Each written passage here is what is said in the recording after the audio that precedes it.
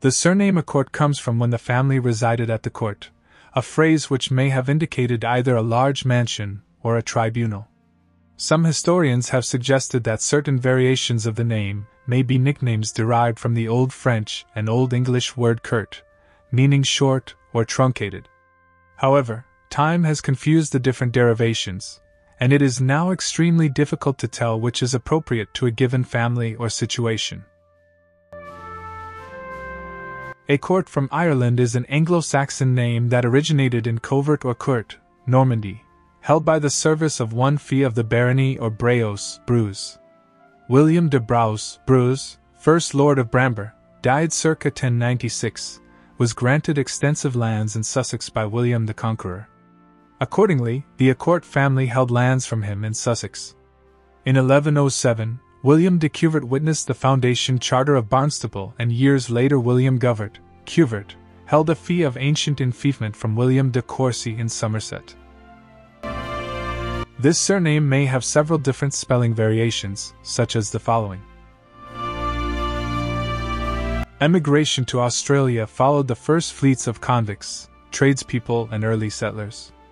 Early immigrants include Mr. John A'Court, A'Court, born in 1823, aged 14, English errand boy who was convicted in Dorset, England for life for stealing, transported aboard the Emma Eugenia on November 2, 1837, arriving in New South Wales, Australia. Emigration to New Zealand followed in the footsteps of the European explorers, such as Captain Cook, 1769 to 71st came sealers, whalers, missionaries, and traders.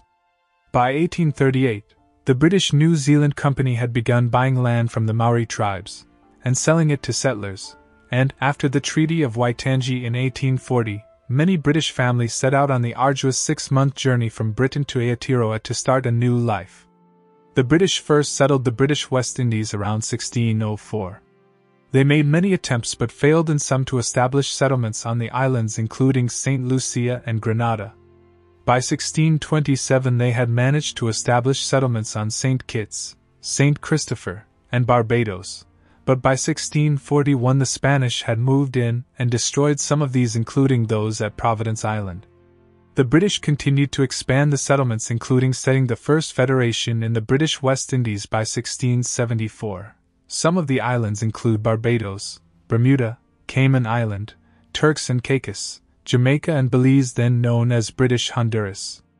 By the 1960s, many of the islands became independent after the West Indies Federation, which existed from 1958 to 1962, failed due to internal political conflicts.